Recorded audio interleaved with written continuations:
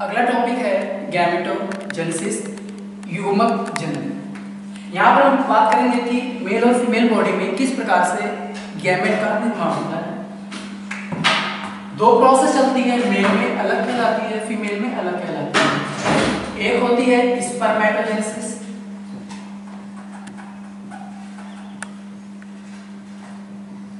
एक होती है oogenesis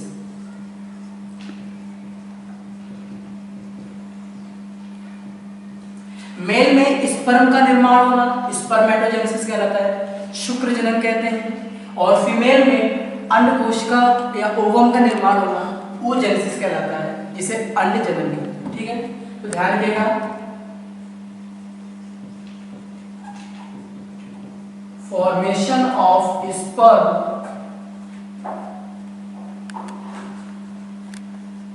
by testis.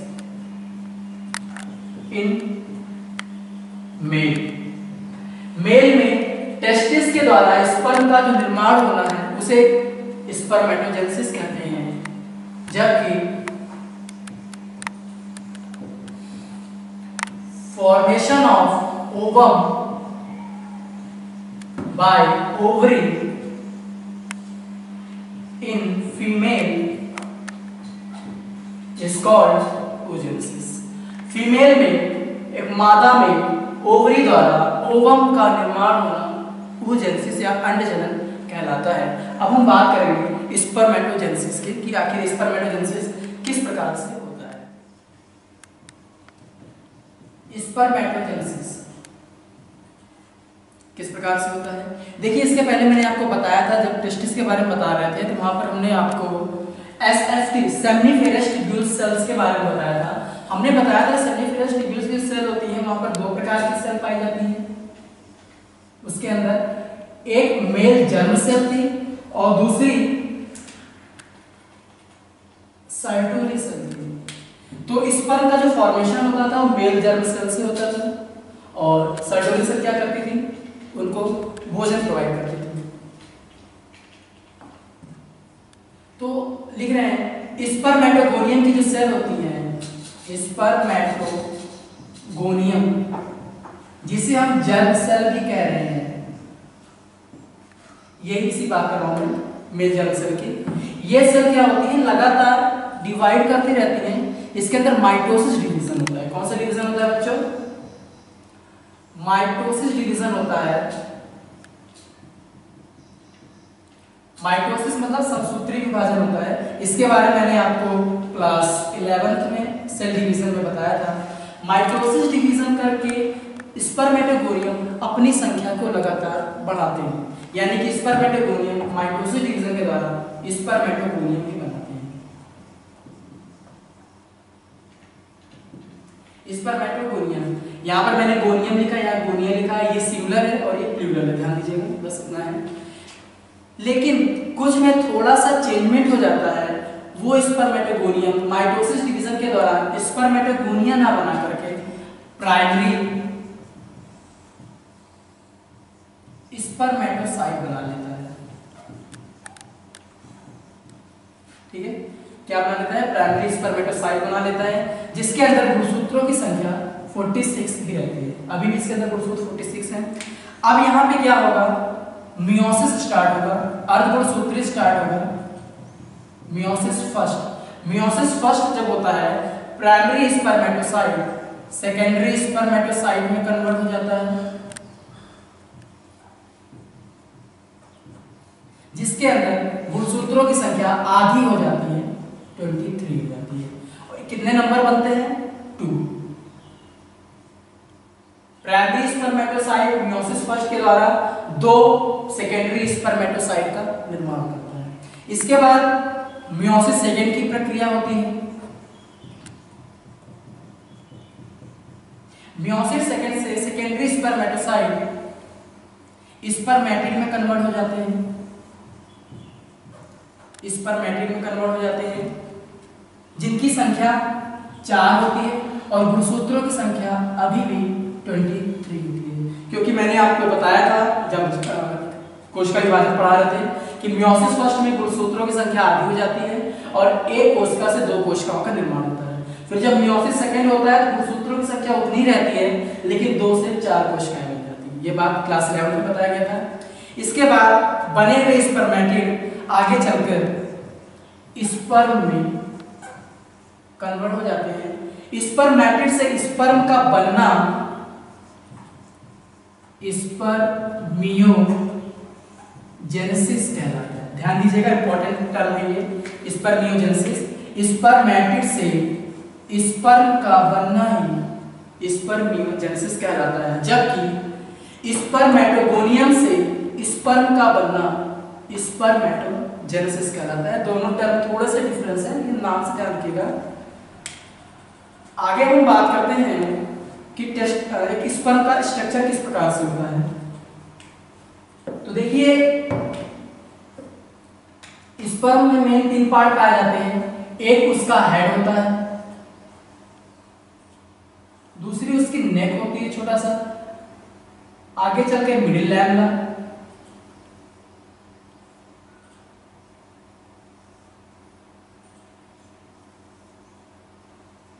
और इसके बाद टेल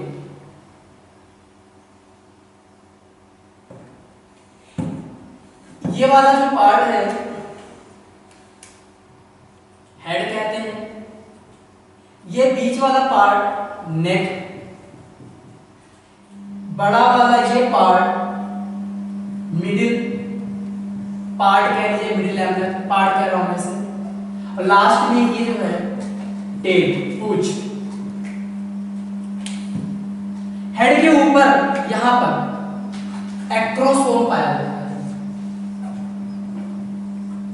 एक्रोसोम करता क्या है? एक्रोसोम जब ओवम से मिलता है तो ओवम की सेल को, उसकी जो बाहरी दीवार होती है, उसको भेदने का काम करता है, उसको पेंट्रेट करता है, क्योंकि स्पर्म को उसके अंदर जाना है। और उसके अंदर उसको पेंट्रेट करना है तो पेंट्रेट यानी भेदने के लिए एक्रोसोम वहाँ पर हेल्प करता है। इसके बाद नेक की बात करें, नेक पर पाया जाता है सेंट्रियोल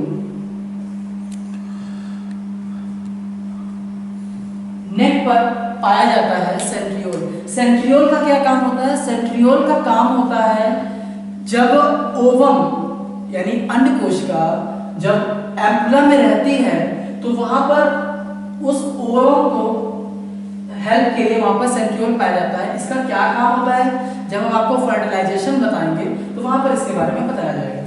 इसके बाद middle level middle part. Middle part में बहुत सारे माइटोकॉन्ड्रिया पाए जाते हैं। तो यहाँ पर मैं लिख रहा हूँ, माइटोकॉन्ड्रिया यहाँ पर पाया जाता है। बहुत सारे पाए जाते हैं। क्यों पाए जाते हैं? स्पर्म है उसको चलना फिरना है मोटाइल गति दिखानी है तो एनर्जी की आवश्यकता होगी। और माइटोकॉन्ड्रिया को पावर हाउस कहते हैं। तो माइटोकॉन्ड्रिया क्या करते हैं? इसको एनर्जी सप्लाई करते रहते हैं। इसके बाद का पार्ट है टेल टेल क्या करते हैं? टेल इसको मोटाइल मोशन में रखने के लिए हेल्प करते हैं। इससे गति करवाते करते रहते हैं। ठीक है? अब हम बात करेंगे कि आखिर मेल में, स्पर्म के फॉर्मेशन में कौन कौन से हार्मोन जिम्मेदार होते हैं? मैं इसका स्टिकर हटा रहा हूँ।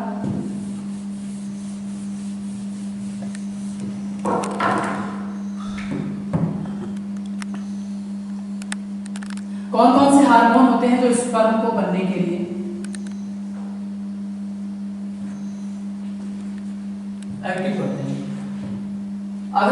तो हमारे शरीर में एक हाइपोथैलेमस ग्लैंड पाई जाती है।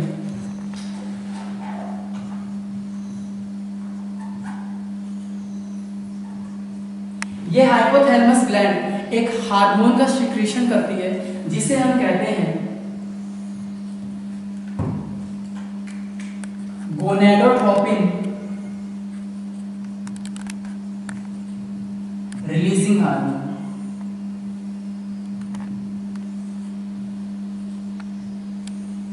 शॉर्ट में इसे बोलते हैं G N R H hypothalamus से निकला हुआ यह hormone gonadotropin releasing hormone pituitary gland के अग्रभाग को पिट्यूटरी ग्लैंड के अग्रभाग को anterior pituitary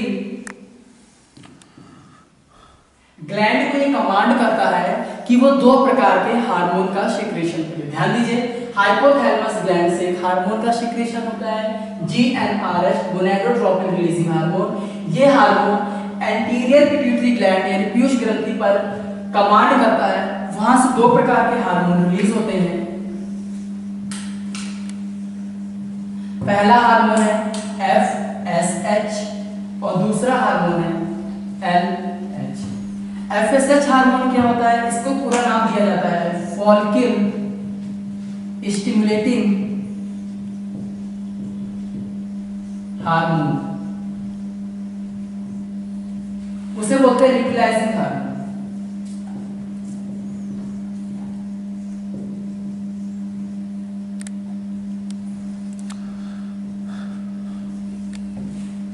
follicle stimulating hormone जो होता है, ये सर्टोली सेल पर जाकर अपना वर्क करता है। सर्टोली सेल पर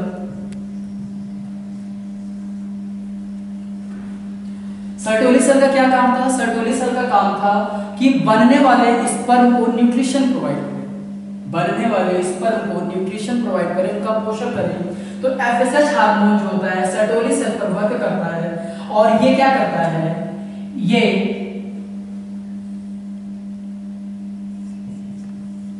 स्पर्म के फॉर्मेशन की प्रक्रिया को बढ़ा देता है। ध्यान रखिएगा सर्टोली सेल जो एफएसएच हार्मोन होता है सर्टोली सेल से निकलता है स्पर्म की फॉर्मेशन की प्रक्रिया को तेज़ी से बढ़ा देता है। दूसरा हार्मोन हमारा न्यूक्लियाइजिंग हार्मोन है। ये न्यूक्लियाइजिंग हार्मोन लेडी सेल पर कार्य करता है। पिछली बार मैंने इसके बारे में बताया था लेडी सेल के बारे में। थोड़ा ध्यान दे दीजिए। होती क्या है लेडी सेल दो एसएफपी दो सेल्यूलर ट्यूब्यूल के बीच की जो कोशिकाएँ होती थी, यहाँ पर बीच में एक सेल पाई जाती थी, उसे हमने लेडी सेल या इंटरस्पेशियल सेल कहा था। ये लेडी सेल क्या करता है? हार्मोन का स्राव करता है टेस्टोस्टेरोन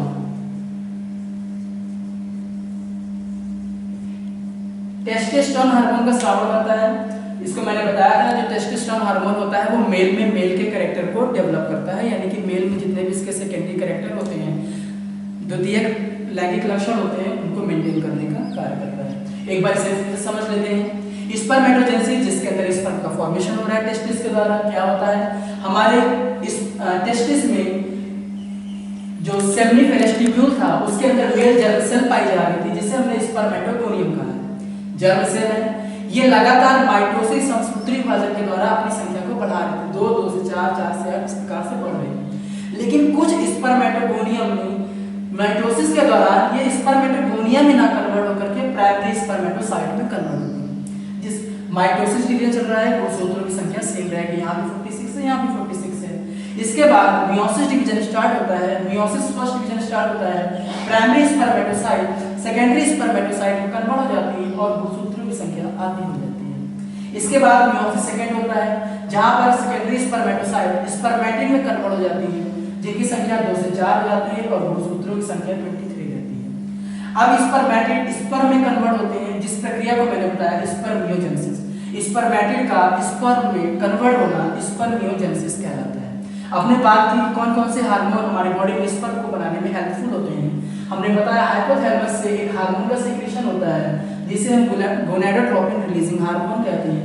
ये हार्मोन एंटीरियर पिट्यूटरी ग्लैंड यानी जो हमारी पीयूष ग्रंथि होती है, उसके अग्र भाग पर कमांड करता है। वहाँ से दो हार्मोन का सिक्रेशन होता है एफएसएच फॉलिकल स्टिमुलेटिंग हार्मोन और एलएच लिटिलाइजिंग हार्मोन एफएसएच क्या करता है? सर्टोली सेल पर काम करता है और वहाँ से स्पर्म फॉर्मेशन की प्रक्रिया को तेज़ी से बढ़ा देता है।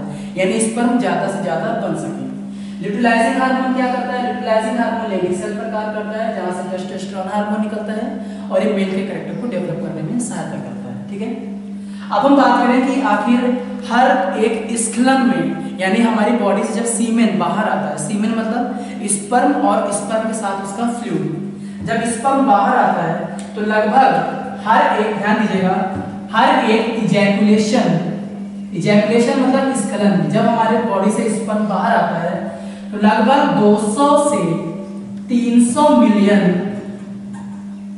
स्पर्म बॉडी से बाहर हर एक इजैकुलेशन में लगभग 200 से 300 मिलियन स्पर्म बॉडी से बाहर आते हैं। लेकिन अब बात यहाँ पर ये होती है कि हम कैसे बताएँगे कि स्पर्म हमारे मतलब कि पावरफुल है मतलब कि एक्टिव है या इनएक्टिव है?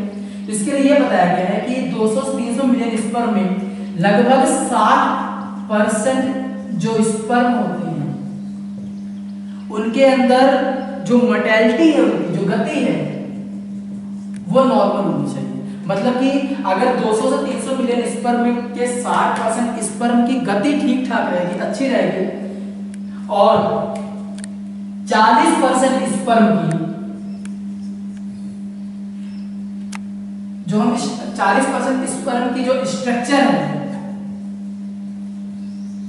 यदि वो सही रहेगा तो वहाँ पर वो स्पर्म फर्टिलाइजेशन के लिए तैयार रहता है। ध्यान दीजिएगा। हर एक इजैकुलेशन में लगभग 200 से 300 मिलियन स्पर्म बाहर आते हैं, जिसमें 60 परसेंट स्पर्म की गति ठीक होनी चाहिए और 40 परसेंट स्पर्म का जो स्ट्रक्चर होता है, वो पूरी तरीके से प्रॉपर होना चाहिए, तभी एक फर्टिलाइजेशन की प्रक्रिया हो पाएगी। चलिए ठीक है। आगे हम बात करेंगे ऊर्जेनेसिस के बारे में।